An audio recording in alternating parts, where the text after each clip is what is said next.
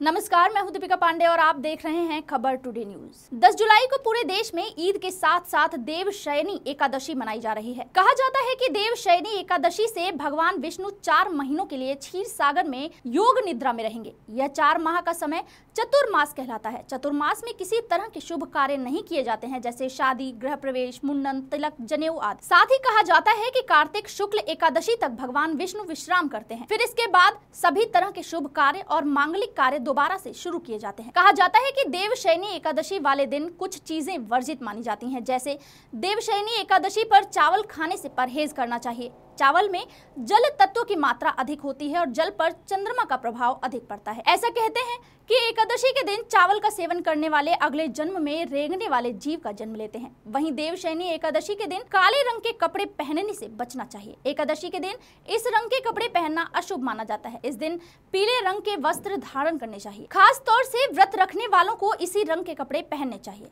सनातन धर्म की मान्यताओं के अनुसार देवशैनी एकादशी के दिन लहसुन, प्याज और मांस मदिरा का सेवन करने से बचना चाहिए। इस दिन तामसिक भोजन से परहेज करना चाहिए और सात्विक भोजन का सेवन करना चाहिए। फ़िलहाल के लिए इतना ही। ऐसी ही अन्य खबरों के लिए बने रहे खबर टूडे न्यूज़ के साथ।